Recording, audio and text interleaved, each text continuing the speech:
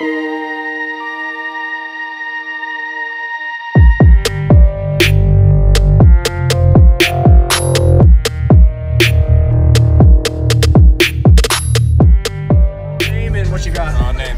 got 412s American Bass uh, XRs on um, two Taramps three Ks. Three Ks. Yeah. One on.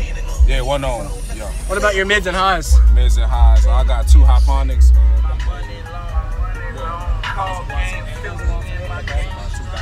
Hifonics. DS18 mids and highs. All right. What is it meter? Do you know? Uh, I just did a, like a 147. Oh wow. Okay. At what peak? What frequency?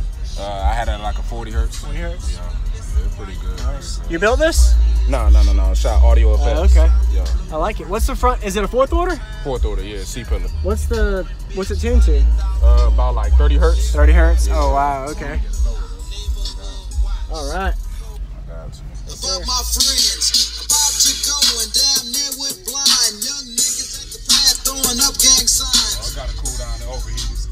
What's up? Overheated.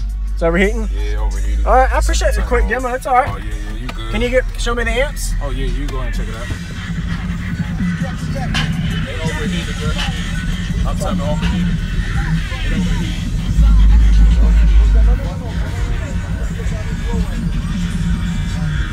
So you got these two on the subs, two per sub, Yeah. and then these on the mids and highs. Yeah. All right. Oh damn. Nice equalizer too.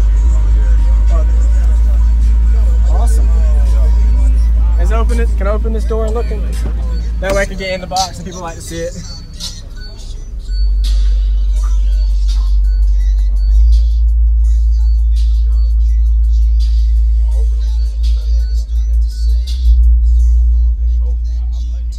Awesome, thank you, man. I like the fourth order lights. Looks good.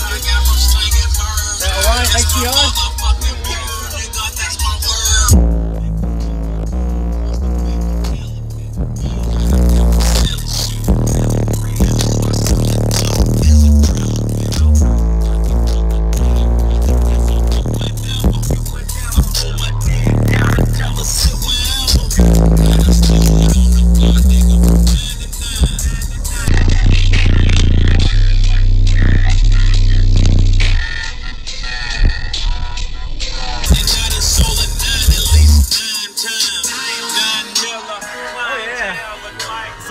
You got it? Do you play uh, low end or more high end? More the middle. Middle. really So like in a 30 hertz range. Yeah, right. Okay. 30, 40 hertz range. Okay. Sounds good. I'm working on this project. That's a nice C pillar. Definitely clean.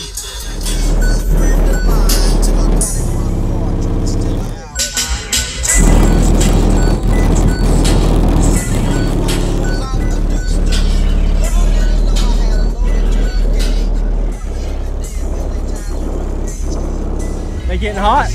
Yeah.